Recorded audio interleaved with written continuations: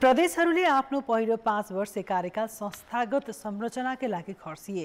दोस्रो कार्यकालमा नीतिगत सुधार र जनचासोको विषयमा प्रदेश सभाहरू प्रवेश गर्ने आम अपेक्षा थियो।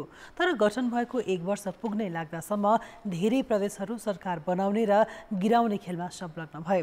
अझै पनि प्रदेशमा राजनैतिक स्थायित्व कायम भएको छैन। कोशी प्रदेश मध्यावधि चुनावको सम्म चर्चा भइरहेको छ भने लुम्बिनी र सुदूरपश्चिममा सरकारकै किचलो छ? के प्रदेशहरू साँच्चीकै राजनैतिक अस्थिरताको केन्द्र बन्दै गएका हुन् त?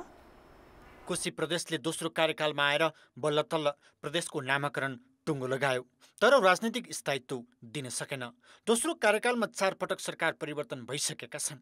अहिले एमाले नेता हिक्मत कुमार कार्की नेतृत्वको सरकारले पनि यही बिस गतेसम्म विश्वासको मत लिनुपर्नेछ। तर त्यो सम्भावना अहिलेसम्म देखिएको छैन। कार्की नेतृत्वको सरकार अल्पमतमा परे अर्को सरकार गठन गर्ने दाउमा गठबन्धन दल देखिएका छन्। सर्वदलीय सरकारको पक्षमा सहमतिको सरकारको पक्षमा छ। त्यसकारण सहमतिको सरकारमा काङ्ग्रेस राप्रपा सद्भा के अरे जसपा या चाहिँ समाजवादी सबै पार्टीहरू माओवादी सबै पार्टीहरू मिलेर हामीले कमसेकम मध्यावधिबाट मुलुकलाई बचाउँ यो संहितालाई बचाउँ। सङ्घीयतालाई बचाउनका लागि चाहिँ हामीले अहिले मध्यावधिमा जानु हुँदैन। एक सय अडसठी पाँचको राप्रपा सहितको नेपाली कङ्ग्रेस माओवादी र एकीकृत समाजवादी र जसपा र राप्रपा सहितको सरकारले दाबी गरेर चाहिँ नयाँ गठबन्धन बनाएर नयाँ समीकरण बनाएर सरकार बनाउने परिस्थितिमा हामीले जानुपर्छ। मध्य प्रदेशमा सरकार परिवर्तन त भएको छैन तर विवाद रहित पनि छैन। सत्ता गठबन्धन दलहरू बीचको आन्तरिक द्वन्द्वको असर सरकारमा देखिने गरेको छ।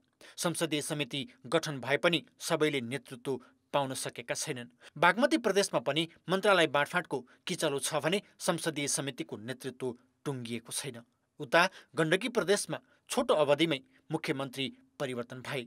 दलीय भागभण्डा नमिल्दा संसदीय समितिको नेतृत्व चयन भएको छैन। लुम्बिनी प्रदेशमा त सरकारले पूर्णतासम्म पाएको छैन। मन्त्री परिषदलाई पूर्णता दिएपछि मात्रै संसदीय समितिको नेतृत्व टुङ्गो लगाउने भन्दै दलहरू हानथाप। गरिरहेका छन्। काङ्ग्रेस पनि एउटा सिटबाट घट्न पर्यो र जति मन्त्रालय छ त्यसैमा एडजस्ट हुने गरे गऱ्यो भने यो तुरुन्तै हुन्छ। र यही बढाउने नबढाउने कुराले गर्दा अड्किएको छ र काङ्ग्रेसको प्रष्ट धारणा के छ भने सरकार मन्त्रीमण्डलमा मन्त्रालय थपेर जानु हुँदैन भन्ने कारणले गर्दा त्यसैलाई मिलाउनको लागि केही समय लागेको हो। कर्णालीमा मुख्यमन्त्री परिवर्तन नभए पनि गठबन्धन फेरिएको छ। सुदूरपश्चिममा पनि मुख्यमन्त्री परिवर्तन भएर लामो विवादपछि सरकारले पूर्णता पाएको हो।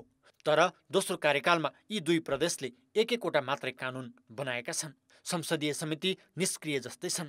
सातै प्रदेश कुनै न कुनै खालका विवादबाट गुज्रिएका छन्। तिन तहकै सरकारले आफ्नो अधिकार क्षेत्रभित्र काम गर्न सक्षम हुनु पर्यो त्यसको लागि क्षमता वृद्धि गरिदिनु पर्यो उहाँहरूलाई तालिम दिएर हुन्छ त ओरिएन्टेसन गराएर हुन्छ के गरे हुन्छ त्यो किसिमको क्षमता वृद्धि गरेर काम गर्ने तरिकाको बाटोमा गर्नुपर्छ। होइन भने यही पाराले हो भने अब निकट भविष्यमा सरकारको सञ्चालन प्रणालीभित्र चाहिँ धेरै प्रश्नवाचक चिन्हहरू देखा पर्दैछ।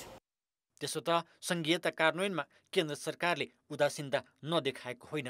त्यसमाथि आफ्नो अधिकारमा स्पष्ट र गम्भीर नहुँदा प्रदेशहरूमा समस्या झन् बल्झिँदै गएको देखिन्छ।